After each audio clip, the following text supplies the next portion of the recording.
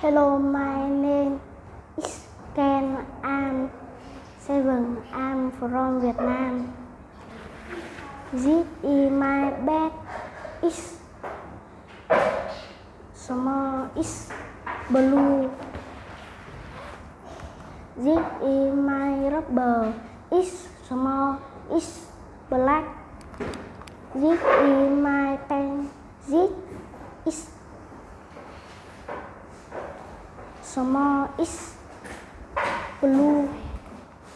This is my ruler. is small. is white. This is my pencil case. is blue. is small. is big.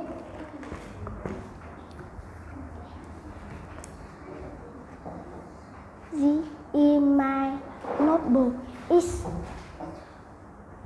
small. It's blue. This, this is my book. It's big. It's red. Goodbye.